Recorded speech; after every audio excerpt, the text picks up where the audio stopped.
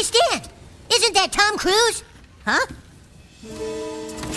Oh, wow, it is. Hey, guys, check it out. Tom Cruise is a fudge packer. What did you call me?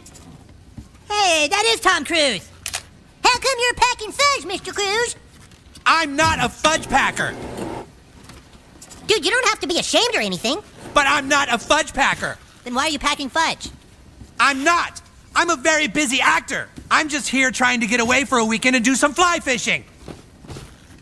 Dude, you are in a fudge factory packing fudge. Oh, that does it. I will sue you. For what?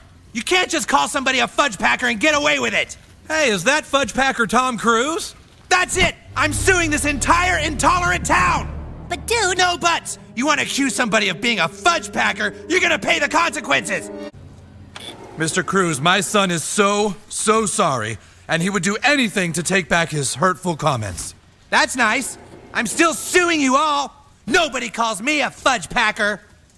Yes, it was a terrible mistake. But maybe you could see how, since you do take fudge and pack it into a box, What?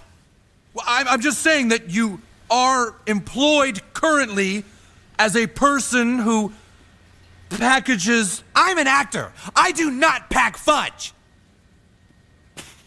Right, my son just got confused because you have a little uniform and a hat that says Fred's Fudge and Candies. And you are. Look, it doesn't matter. Just please withdraw the class action lawsuit. Nobody in our town will ever call you a fudge packer again. There is one thing that your town could do to maybe make me forget about this lawsuit. Anything, anything you want, Mr. Cruise. It's just that there's somebody I've always wanted to meet, face to face. If you could get him to show up in your town, Sure, who is it? We can get anybody for you.